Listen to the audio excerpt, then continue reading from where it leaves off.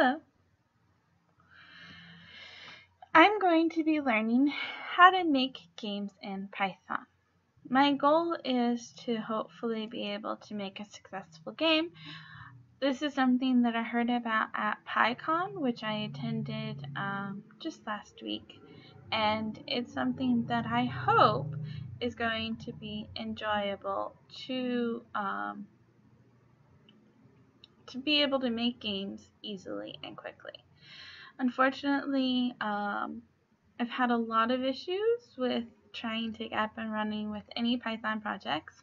I attended several sprints and just everyone had problems. And I thought that since the creator of the Python Arcade iLib library is not available um, right now, but I would record myself trying to learn more about it and be able, hopefully, to get it up and running so that he can have the information if anything does go wrong um, for creating better usability. So I asked him to send me information because I was very interested in the project, and he sent me this link. It is uh, pythonhosted.org slash arcade. And it looks like there's an introduction video that um, I tried watching before I realized that like I want to watch this together. So let's see if this will work. Arcade is an easy-to-use Python game library. You can use it to create 2D arcade games, Minesweeper games, Hangman games, 2048, or other similar types of games. Not sure if the arcade library has what you want? Check out the example code section. Some of the examples even include a video walkthrough. This example shows how you can create images with basic drawing commands. You don't even have to know how to define a function, write an if statement, or use a loop. But once you do learn those concepts, you can start using sprites, which allow you to write platformer and shoot 'em up style games. To quickly see the list of all commands available in the arcade library, use the quick index. For more detail, see the full API documentation. You can even see the source code for each of the commands as well. Installation is covered in this section over here. There's separate instructions for Windows, Linux, and Macintosh, but for the most part, you can probably do a pip install arcade if you're familiar with using pip install to bring in Python packages. Okay, that's a very informative video. I am running a Windows machine, so I'm going to click on Install Instructions and try and get it installed on my machine. Now, a precursor to this, because I have been trying to get a few Windows machines up and running, I have already installed Python, and I have um, changed the path on my computer to allow me to access Python whenever I type in Python, it'll pull up Python 2 version 2.7 and when I type in Python 3 it should pull up Python 3 um, it, it's either 3.4 or 3.5 I had 3.4 originally and then we were having some difficulties and I downloaded and reinstalled it. And I think when I reinstalled I was able to reinstall 3.5 so I have Python installed. I can pull up my um, command line and just test it. And I have a dual monitor, so you can't see um, that right now. So it looks like I have um, Python 3.5.1. And when I type in Python um, dash V, it should tell me the version.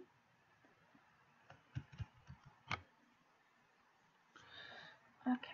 Oh, and I'm running Python right now, so that always throws me. Okay. Okay. And exiting Python is always interesting as well.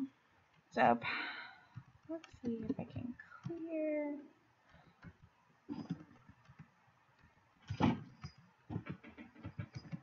My cat's in the background. I'm going to close my command prompt and reopen it so that you can see what I'm doing because I think that would be more interesting. Now, sadly, this doesn't display the whole screen, but Python 3 and there's your bus. Ah, nope. That's not what I wanted. Control Z. What? Okay. I think I'm good. Python dash capital V. Python 3 dash capital V. Okay. That's interesting. I hope I don't need Python 2 because it looks like I have Python 3.5 as my Python and Python 3.4 as my Python 3. I think I can update that in my maybe? I don't know. Whenever I was reinstalling, I must have messed it up. Like I said, I am prone to making mistakes. Okay, so it looks like the next step is to be able to do pip install. So, eh, it doesn't want to display properly. Okay. So, I'm going to try pip install arcade, which it says right there I should be able to do. Let's see if this works.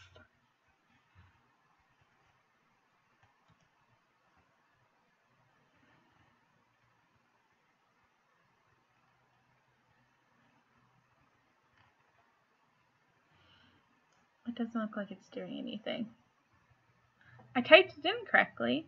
There it goes. It's collecting the arcade. and it's downloading it.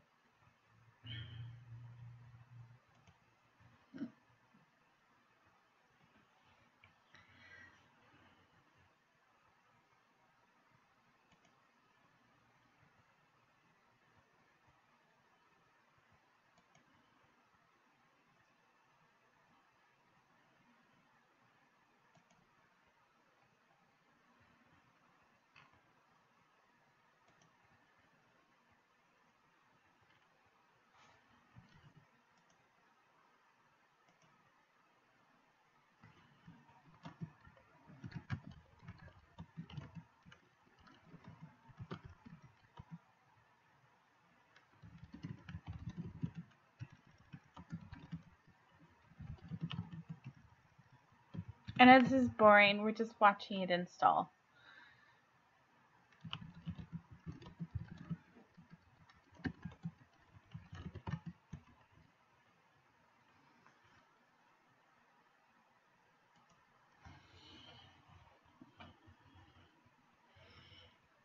So it looks like the main parts are downloaded. We have installed um, Arcade, Pyglet, Pillow, Numpy, um, and those all look like they are specific installs as dictated by um, the arcade.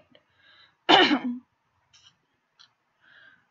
that's downloading and installing, I don't even know if it shows up on the screen.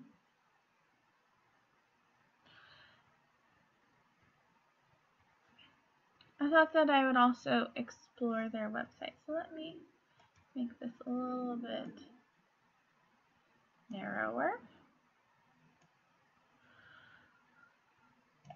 And I can move this sideways.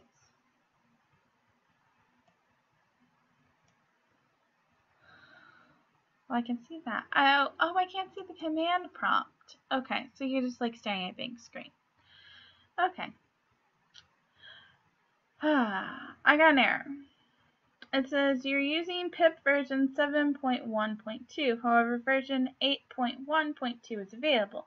You should consider upgrading via the python-m pip install upgrade python. Okay, so error, just a warning. It looks like everything is successfully installed and I should be able to go to the next step of this.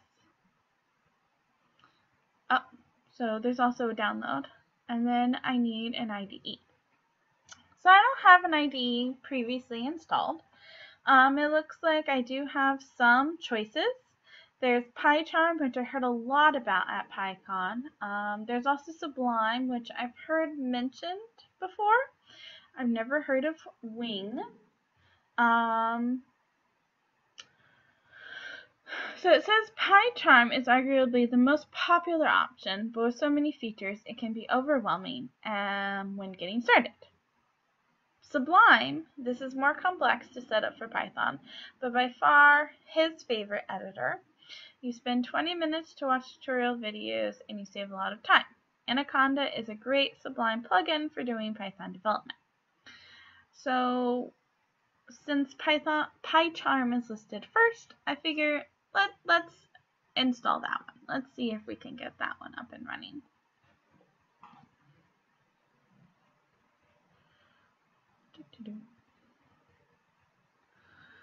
So let's see if I already have it downloaded. I may have previously installed it.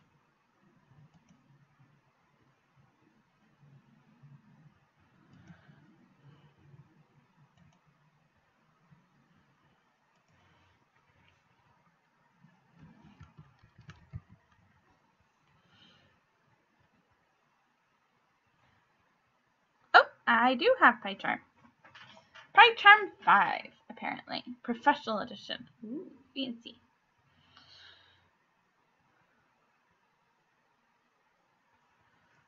Okay. Let's see if I can get this to switch screens. You can see my very lovely back um, backdrop there. Um, it doesn't look like it's showing up. Um, let me see if I can figure that out. I'm sorry. Please bear with these technical difficulties as I try and adjust things. I, I am kind of new to a lot of this stuff, so hopefully you will have patience with me.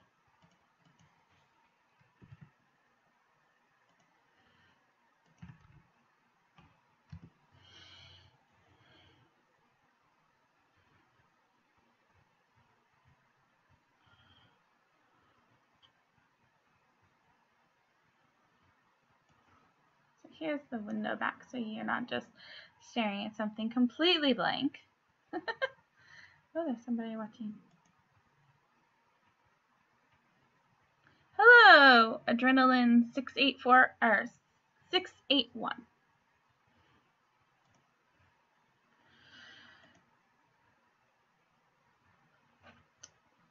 So I'm trying to open up PyCharm. Hopefully I am successful. And then we can move on to the next step in the guide.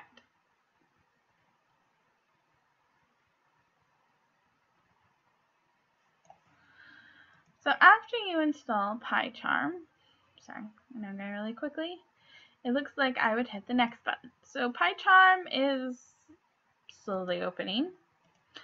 So let's see what the next step in this tutorial is. Oh, there we go. We got PyCharm to open. Okay. See if I can get it to full screen. No, I cannot. Okay. Well, let's update it.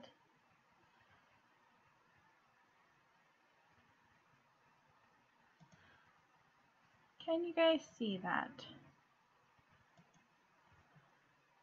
No, you cannot.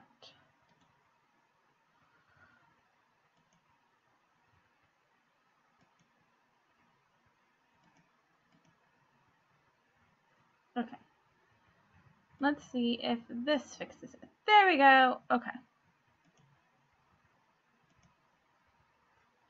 There we go. Now you can see things.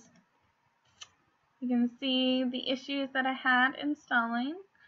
And you can see my PyCharm, which is now up upgrading. Okay. So we did the installation instructions. We followed the installation instructions for Windows. When you hit the next button, it takes you to Mac. Um, so let's hit the next here and see what it suggests that we do.